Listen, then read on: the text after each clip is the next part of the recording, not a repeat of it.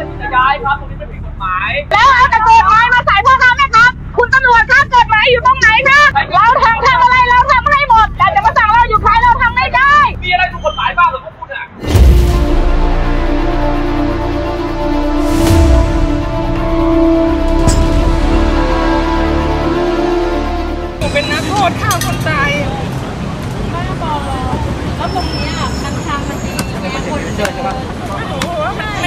ขวางขนาดนี้เดี๋ยววลงเยาวราชเขาก็ยังขายได้เลยอะพี่ เป็นดราม่าที่ถูกพูดถึงกันทั้งโลกออนไลน์ เมื่อเทศกิจลงพื้นที่เปิดทางเดินถนนสีลม ก่อนที่พ่อค้าแม่ค้าจะนอนกราบเทศกิจวอนขออย่าไล่ที่ทำมาหากิน แถมวิดเกิดการประทะจนเป็นเหตุการณ์ชุลมุนขึ้น จะเป็นยังไงนั้นเดี๋ยวเราไปชมเหตุการณ์กันค่ะ รถไม่มีที่จะชนขายอยู่แล้วแล้วจะเอาอะไรกับพวกเราอีก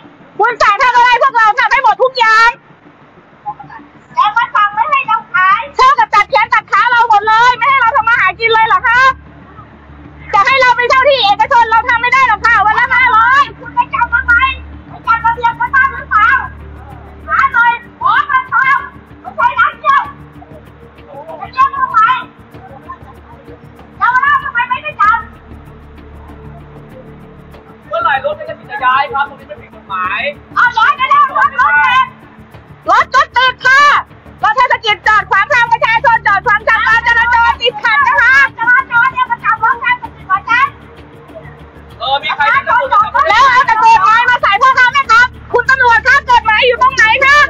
เดินตรงไปเลยเอามาไปจราจรด้วยมาโมโหกันหมดเลยถ้าเป็นห่วงประชาชนขนาดนี้เขาจะให้เก็บเสียงทุกอย่างใครก็เราทำทำอะไรเราทำให้หมด แต่จะมาสั่งเราอยู่ใครเราทำไม่ได้ ขออนุญาตตำรวจด้วย มีอะไรถูกกฎหมายบ้างเหรอพวกคุณอะ เออเออเออเออเออเออ เมียผู้ชายผู้เมีย สงสารด้วยค่ะ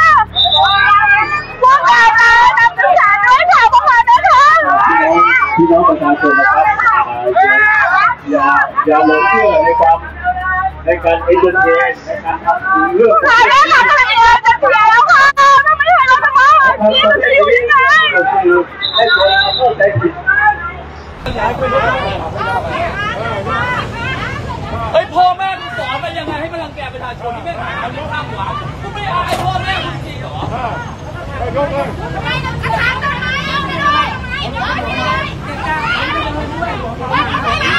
กไปย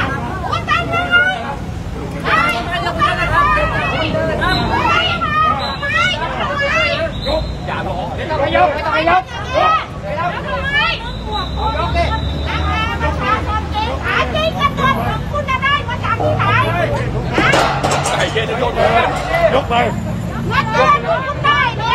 ไปได้มาจากไหนเออได้ตรงไหน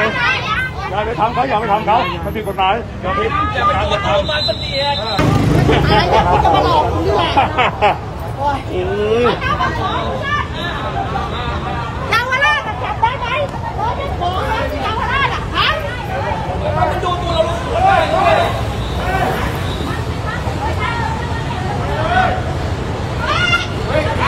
เอาเลยเอาเลยเอาเลยเอาเลย หนู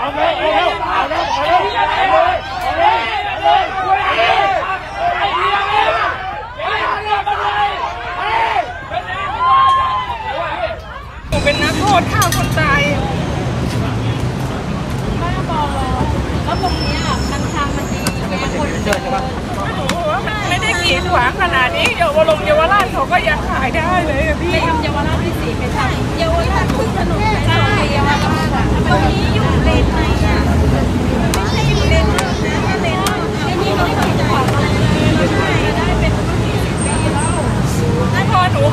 20 กว่าปีแล้วพี่มาขาย